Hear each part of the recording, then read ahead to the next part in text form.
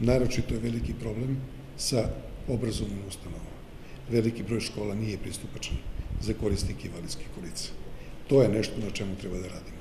Mi smo kao Centar za samostalni život osoba sa invaliditetom, uz pomoć moje koleginice Gordana iz Udruženja distrofičara, e, svojevremeno napisali projekat koji je zajedno sa lokalnom samoupravom i sa Ministarstvom za rad socijalna boračka pitanja, za rad, e, zapošljavanje boračka i socijalna pitanja, napravili dve rampe na zgradi SUPA i zgradi suda i time smo započeli veliku i zaista jednu partnersku saradnju sa lokalnom samoupravom. Ono što sada pokušavamo da kod lokalne samouprave utičemo, to je da se obrazovne ustanove učine što pristupačnijim, da osobe sa invaliditetom mogu da se obrazuju. A nešto kasnije ću reći zbog čega je to tako toliko bitno.